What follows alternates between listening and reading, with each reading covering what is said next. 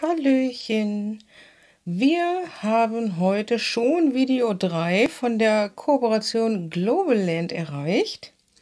Ich hatte euch ja schon das Unboxing gezeigt und gezeigt, wie man äh, diese Tasche macht und diese Slimline-Karte. Und heute möchte ich einmal dieses Set hier benutzen und ich möchte ein paar Aufkleber erstellen. Das Schöne bei diesem Set war ja nicht nur, dass es das Thema Nähen äh, als Hauptthema hat, was mir natürlich gut gefällt, sondern dass wir auch die, die passenden Stanzen dazu haben. Und deswegen hatte ich mir schon ein bisschen was bereitgelegt. Einfach nur ein ganz normales ähm, Blatt Papier, ganz normales Druckerpapier. Und ihr könnt natürlich auch festeres Papier nehmen, Cardstock oder was auch immer. Und hier einmal doppelseitiges Klebeband habe ich mir jetzt auch bereitgelegt. Und daraus möchte ich dann halt die Sticker machen. Und wer Lust hat zu shoppen, geht auf diese Seite und guckt sich die Produkte einmal an. Aber bitte nach dem Video. Jetzt wollen wir erstmal ein bisschen kreativ sein. Also los geht's.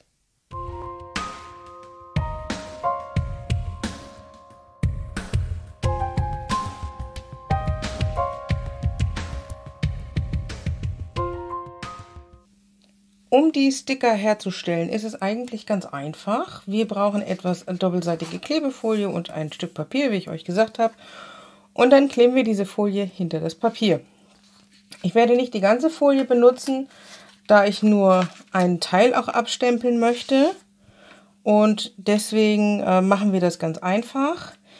Ich werde mir jetzt ein paar Stempel raussuchen, die ich gerne benutzen möchte und lege mir die auf das Papier und dann sehen wir einfach, wie viel Platz wir benötigen. So, ich möchte auf jeden Fall die Nähmaschine und das Nadelkissen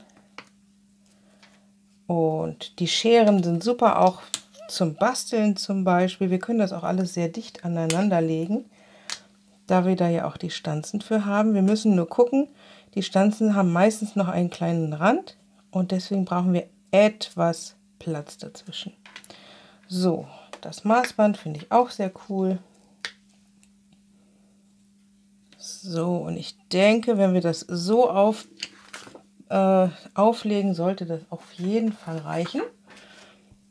Dann mache ich mir hier eine Markierung. Das mache ich relativ großzügig. Ich kann auch am besten mal einen Bleistift nehmen. Sicher ist sicher und zeichne mir das einmal ein bisschen vor.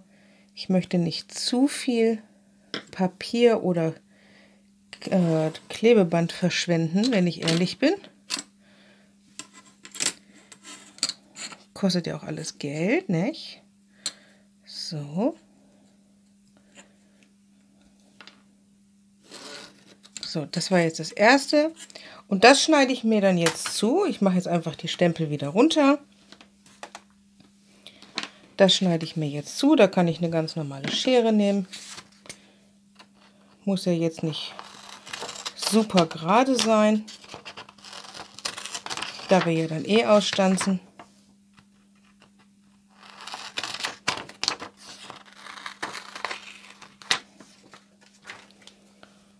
So, und dann werde ich mir hier die Folie einmal öffnen. Also eine Trägerfolie. Wir haben von beiden Seiten eine Trägerfolie und jetzt müssen wir natürlich schauen, welche sich am ehesten ablöst.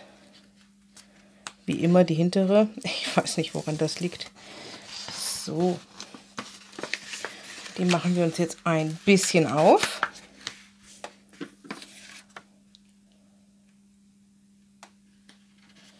Kleben uns das Papier drauf.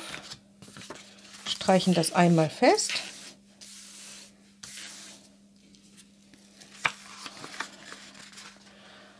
Und schneiden das auch auf, also ab.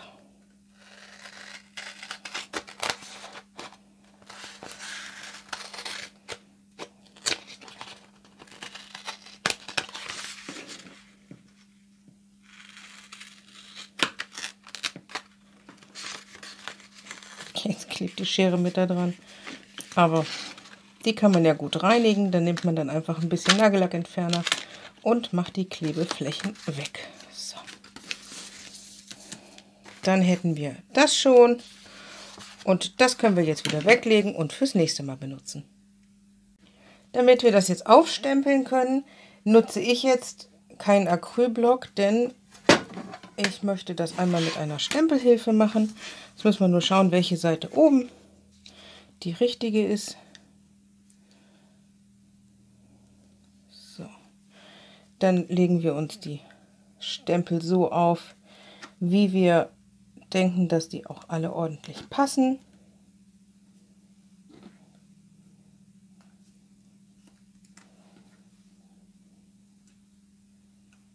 Und ich habe sogar noch mehr Platz. Dann können wir ja noch das ein oder andere Bildchen mit drauflegen.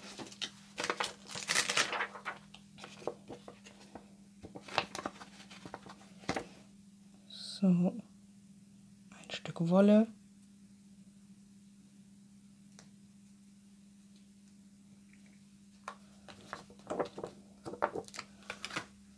Und die Garnrolle passt auch noch.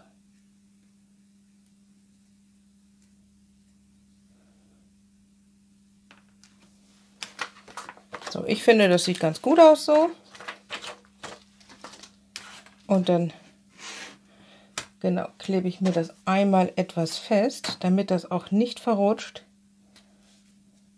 Ich nehme da einfach ein bisschen Masking Tape für ein bisschen mehr, weil wir ja darunter diese äh, Schaumstoffplatte drunter haben und das muss ja trotzdem irgendwie halten. Wenn ihr natürlich eine Magnetplatte habt, ist das umso besser. Damit kann ich jetzt derzeit nicht dienen, beziehungsweise hätte ich wohl doch im Schrank, aber gerade nicht griffbereit. So. Dann nehmen wir uns das einmal richtig auf.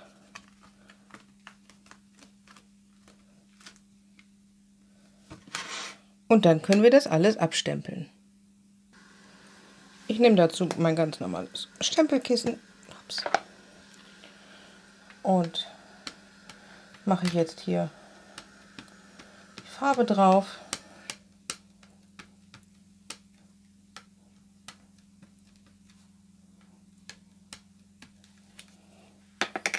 Ich hoffe, ich habe jetzt überall getroffen.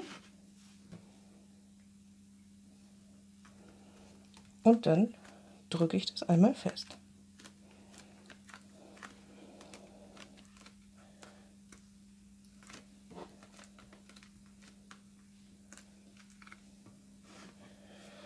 So, ich mache jetzt, um die Farbe noch etwas satter zu bekommen, nochmal Farbe auf die Stempel. Wobei das Ergebnis schon relativ gut ist, muss ich sagen. Aber ich möchte das alles noch ein bisschen schwärzer haben. Und das ist natürlich auch der Vorteil an einer Stempelhilfe.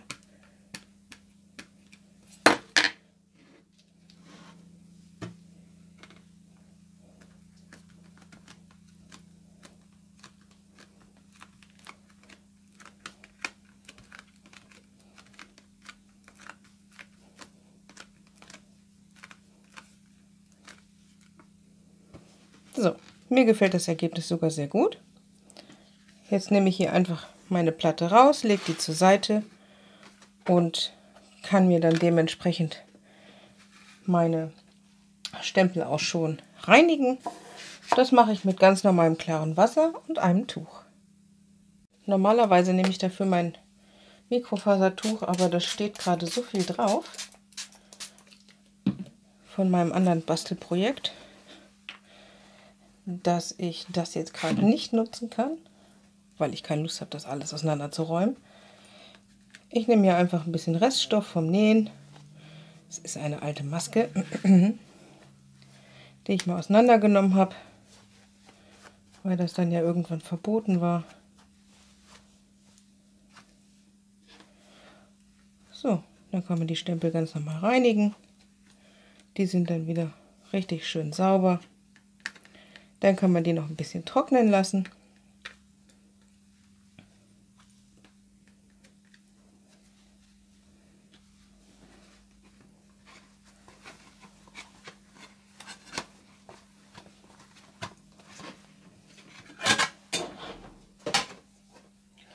Und fertig ist der Anfang. So, jetzt können wir uns das alles noch etwas ausmalen, wenn wir möchten. Oder wir können es erst ausstanzen und ausmalen, wenn wir es brauchen. Oder wir lassen es schwarz-weiß. Das liegt ganz bei euch, wie ihr das gerne hättet. Ich lasse die jetzt schwarz-weiß und wenn ich sie wirklich benötige, male ich sie mir vielleicht an. Das entscheide ich noch. Aber jetzt bringe ich mir erstmal die Stanzen auf.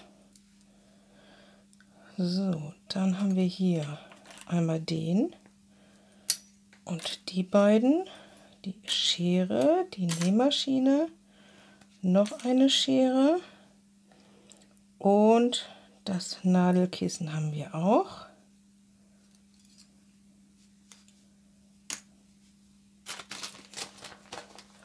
Dann nehme ich mir hier mit einer Zange die,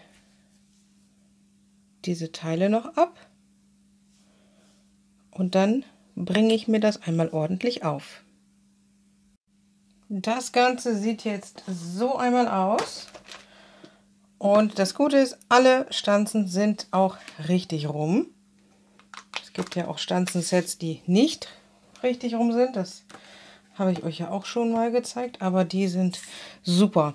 Das schiebe ich jetzt einmal durch die äh, Stanzmaschine und dann schauen wir mal, wie die Ergebnisse aussehen. Ein paar Sekunden später haben wir es auch schon geschafft. Und es sieht auf jeden Fall sehr gut aus. Also es löst sich jetzt schon, denn ihr müsst ja auch bedenken, durch Klebefolie ist es etwas schwerer zu stanzen. Das muss ganz klar sein. Es ist halt kein Papier, sondern das ist ja so eine Folie. Und ich kann euch das jetzt einmal anhand eines Beispiels zeigen. Jetzt ist natürlich das Problem, meine, meine,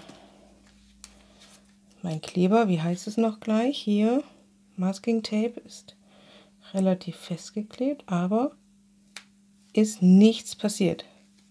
So, und so sieht das Ergebnis aus.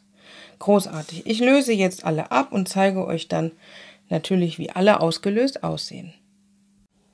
Ich habe alles rausgetrennt und schon hier hingelegt. Die äh, Sachen, wo jetzt noch Freiraum war, die habe ich mir natürlich auch beiseite gelegt, denn ich habe hin und wieder mal einen kleinen Stempel, dann kann ich den aufstempeln und auch als Aufkleber benutzen. So, also ich finde diese Stempel und Stanzen total super. Also ihr könnt das jetzt sehen. Ich finde, sie sind wirklich gut gelungen. Und ich habe nichts zu meckern. Bin sehr zufrieden damit und freue mich auch, die schon zu verwenden. Und jetzt, wenn ich die natürlich als Aufkleber benutzen will, ziehe ich einfach hinten die Folie ab und nutze die als Aufkleber. Und ansonsten, wie gesagt, wenn ich die jetzt noch bunt haben möchte, kann man die anmalen. Entweder natürlich mit Bleistift oder mit Alkoholmarkern. Man muss nämlich aufpassen, das ist halt ein Stempelkissen auf Wasserbasis. Wenn man da mit Wasserfarben hantiert, würde die Farbe wohl mit verlaufen. Das kann ich also nicht empfehlen. Ja, und das war jetzt auch schon Video 3. Hier nochmal die Internetseite und meinen Zettel kennt ihr ja wahrscheinlich auch schon. Ich würde mich auf jeden Fall freuen über jeden Like, Kommentar, jedes neue Abo. Vielen, vielen Dank fürs Zuschauen und ihr wisst ja, wie es ist. Bleibt wie immer und vor allen Dingen bleibt gesund. Bis bald.